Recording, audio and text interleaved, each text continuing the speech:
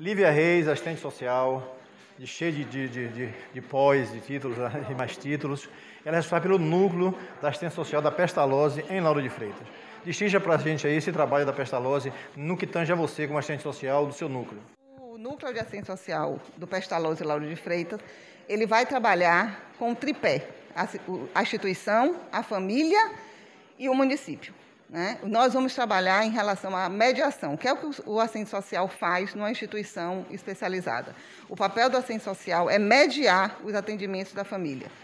O, qual é o nosso principal ponto? É que a, a pessoa com deficiência que adentra a nossa instituição, ela não é vista individualmente, ela é vista in, com a integralidade. Então, a família dela faz parte como paciente, como usuário desse serviço.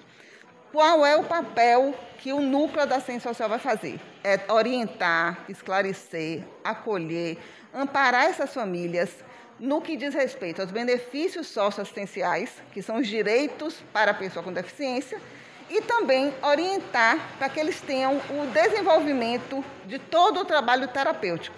Então, assim, também a ciência social não trabalha sozinha. Ela vai trabalhar com a equipe multidisciplinar, onde essa equipe são atendimentos compartilhados.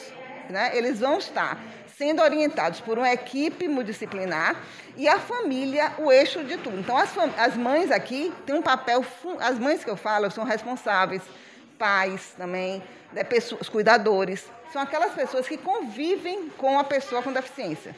Então, ela, ela precisa estar a par de todo tudo que precisa de atendimento terapêutico e dos benefícios das leis que protegem e a garantia do direito.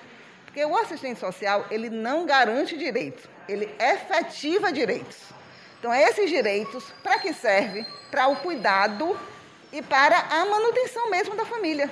Então, são esses direitos que têm que ser garantidos para que eles possam vir para o tratamento com tranquilidade, né, sabendo que vai deixar sua casa em paz com os outros filhos e vem ser atendido no núcleo com toda essa amplitude de, da equipe multidisciplinar.